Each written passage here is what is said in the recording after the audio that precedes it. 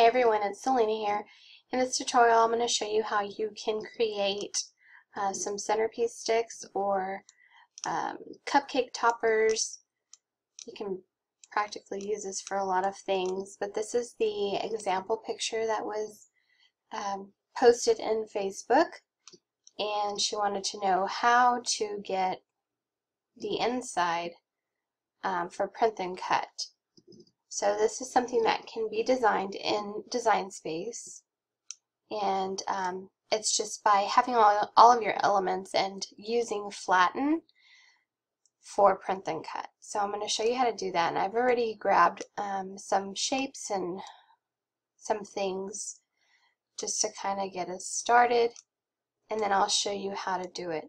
Um, in this example uh, I, I could tell which font that was and it's a font that I already have and I downloaded it from dafont.com and it's called a gentle touch. And so if you wanted to use that that's the name of the font. Now over here I have this purple cupcake. I changed the canvas color um, but this is by using your set canvas. And this is just to kind of give you an idea. If you did want to do a cupcake topper then you can kind of um, you know, have a visual on what's going to fit well for a cake cupcake topper. So if I were to look at the diameter of the biggest circle or the scallop circle, this is going to be almost 2 inches, so 1.83 in width. And um, But if you wanted to use this for centerpiece sticks, then I would use, I would make it bigger. Alright, so these shapes I grabbed from Cricut Design Space and, and I just used images that are in the subscription.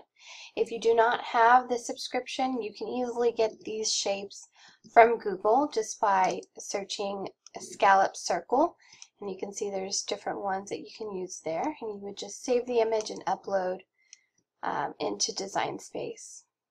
So for these that I have, I went into insert image and I just started typing scallop circle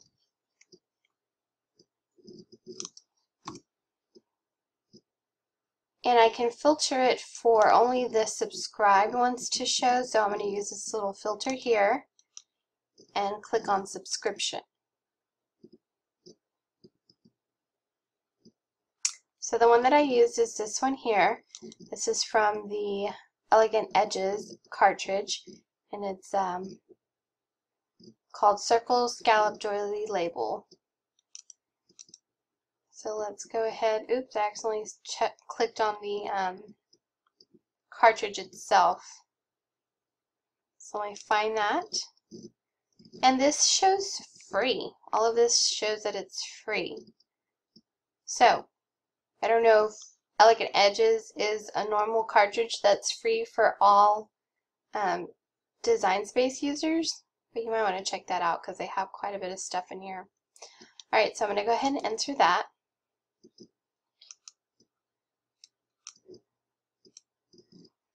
And it has two layers.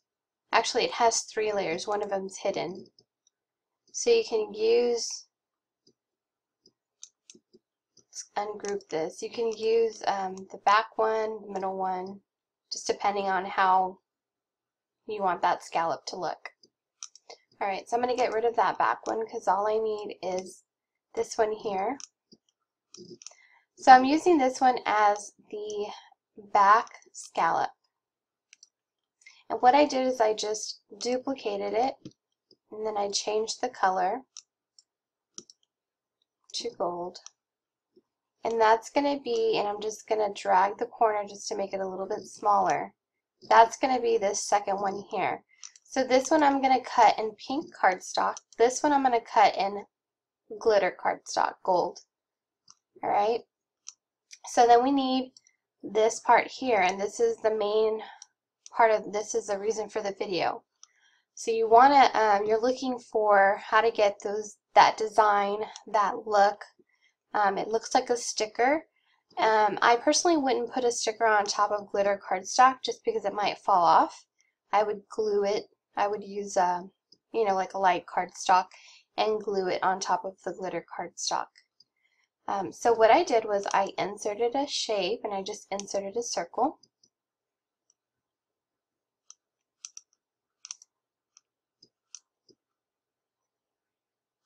Okay, and then just size it to where it's gonna fit right in the middle, but not overlap that scallop. I'm just trying to mimic my example here.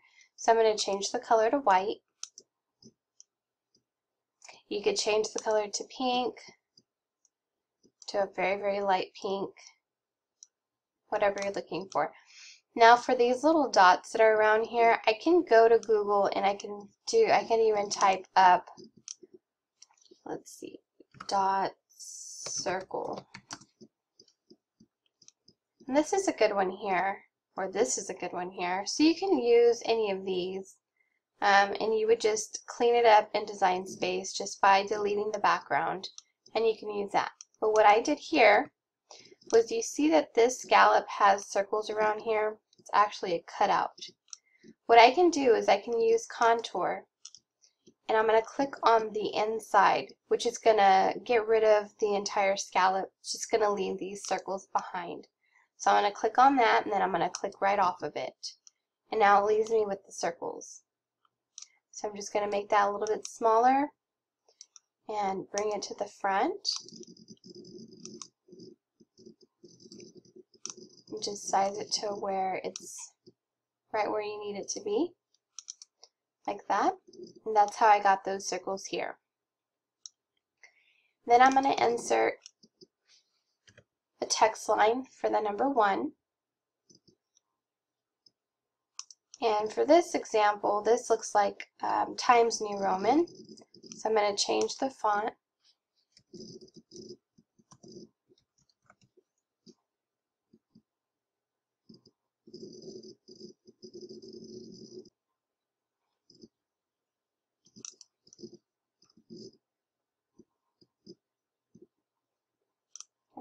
So I've changed that. Now in the example, this number one is not gold glitter cardstock. It's actually a filled pattern. And they used like a gold glitter background or um, pattern fill for that. You can easily just cut this out of glitter paper and put that on top. I think that would look a lot prettier. But if you wanted to do it just like the picture, what I'm going to do is I'm going to go to my layers panel. I'm going to click on the number one. I'm going to go to print. When you click on print, it's automatically going to change it to a flat uh, printable image.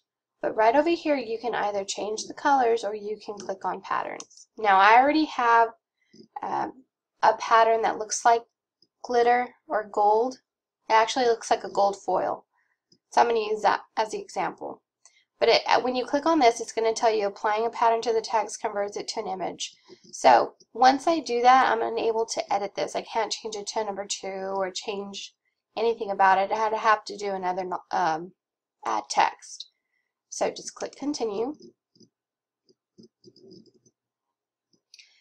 Now I already have, I've already been messing with this, but it'll automatically default if you haven't messed with anything to everything that is in Let's unclick that.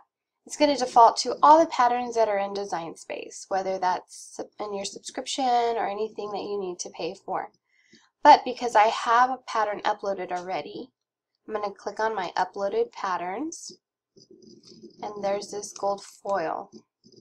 So I'm going to click on that, and you're going to see here that this is going to change to the gold foil. Okay, now it looks really tiny, you can't really see the foiled look. So what you can do is go back, go into edit. Right here, this is a scale. So I can increase this and you can see that it's changing a little bit bigger so you can see the more of the foil. So I'm going to leave it like that.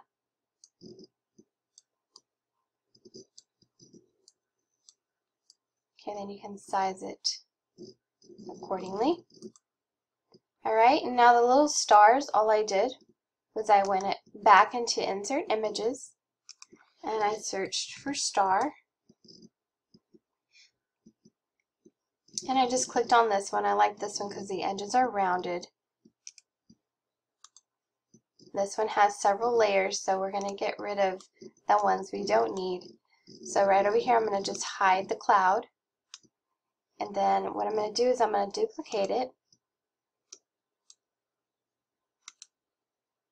I'm going to use hide contour, but I'm going to show you that when I click on contour, it's going to tell me that it's not available for composite images.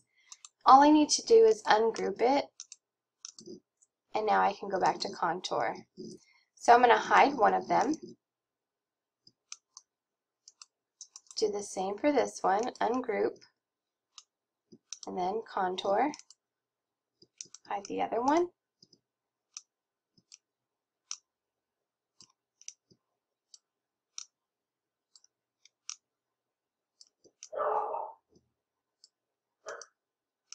Put those there. This one has a lot more going on. It looks like little polka dots or my, maybe like little tiny stars. That's also like a pattern fill. So if I had that, what I would do is I would do a pattern fill for the circle itself. If you wanted like little speckles or, you know, a fill of tiny stars like this, instead of adding, you know, 30 stars, you can do a pattern fill.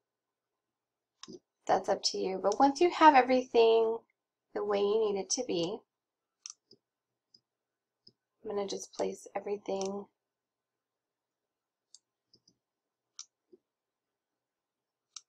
there. I'm going to select it all. Now I'm just dragging my mouse across the entire area. And you could just check in your layers panel to make sure all of the layers that you need are highlighted.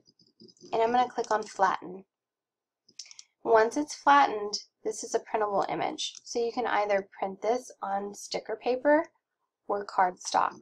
And it's going to cut around that. It's going to print on your home printer and then cut with the Explorer. I just did the same thing for this one. Let's actually do it on this one. I just um, the text. Now, you can see that in Design Space, when you type text, your spacing is going to be off. It's always spaced. So what I did was I'm going to change the color first. Change it to a darker pink. I'm going to ungroup and then I'm just going to scoot the letters together. I'm going to zoom in here so we could see. And I just want it to look connected. So I'm just scooching these together. Okay, I'm going to drag a box around it, make sure that they're all selected, and I'm going to click Weld.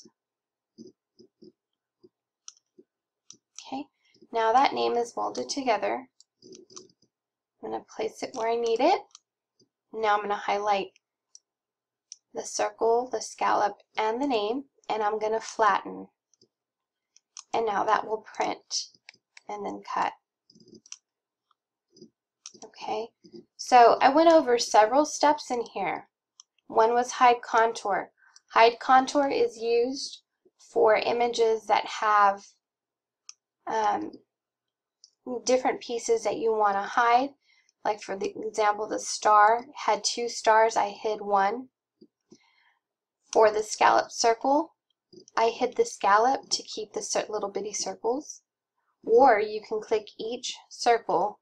I mean, it's not necessary because you already have one. But if I were to click each little circle and then click off of it, then it would be a solid scallop circle. Um, I used weld so that everything could flow together, weld it all together. I used pattern fill, which is found on your layer. When you change to print, you can um, choose a pattern fill. And whenever you're doing your own patterns and not using the one in Design Space, to do that, you would click on Upload Images. There's so many patterns that you can find. If I did like a tribal pattern, I mean, any of these will work. Okay, you can pretty much upload any image as a pattern fill. But instead of using upload image, you're going to use pattern fill.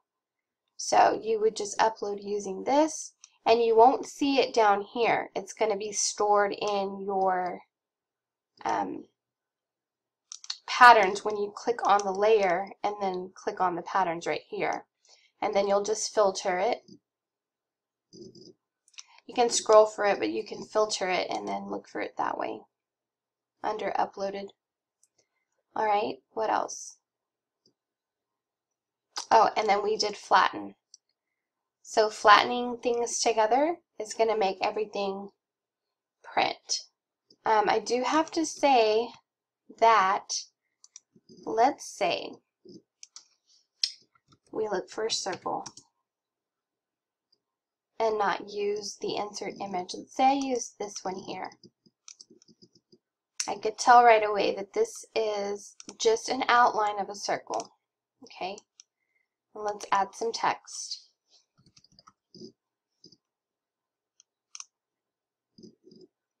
Let's say we wanted this word to print inside of this circle. Okay, so I'm going to select the two and I'm going to flatten. Whenever you're ready to print, it's going to print just fine. Actually, it's not going to print just fine. It's going to print very blurry. So let's go, I'm going to get rid of this. Let's go to print.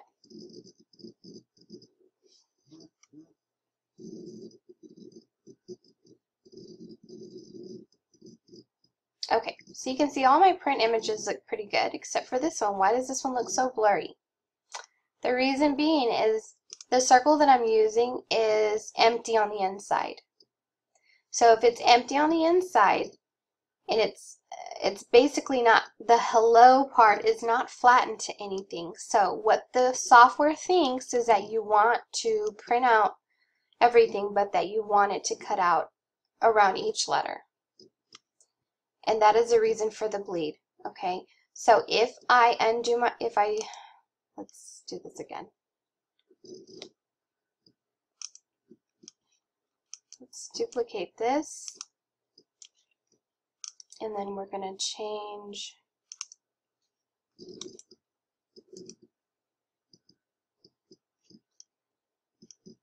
Okay, here we go. Unflatten.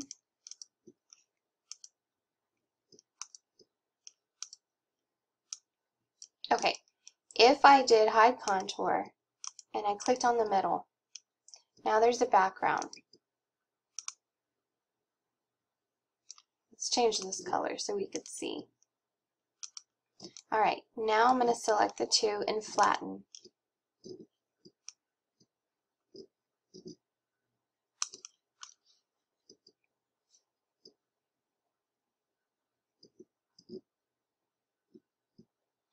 You're going to see that this is still, um, that has that bleed, but this one is legible. And like I said, it's because this is hollow. You can see my grid lines behind it. There's nothing there that it's actually flattened to, so it's going to cut out each letter. So just be sure when you're, you're flattening things, uh, make sure that you have something behind it, because if not, it's going to cut out separately. So I hope that makes sense. Alright, so if you have any questions, I really wanted to um, cut this out and uh, get it on camera and, you know, assemble everything together. But it is really late and um, I don't have time for that, but I wanted to get this video out to you. Um, but if you have any questions, please leave them in the comment section below. If you learned anything in this video, please give it a thumbs up and subscribe to my channel to see new videos. Thanks and see you in the next video.